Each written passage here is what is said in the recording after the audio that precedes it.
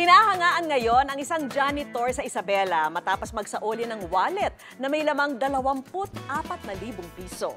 Naka-duty at naglilinis daw noon sa mall si Alexander Foronda nang makita niya ang wallet. Agad niya itong dinala sa security at naibalik din sa may-ari. Kinilala naman ng pamunuan ng mall ang kanyang katapatan at pagiging isang magandang ehemplo. Hanga kami sa iyong katapatan, Mang Alexander.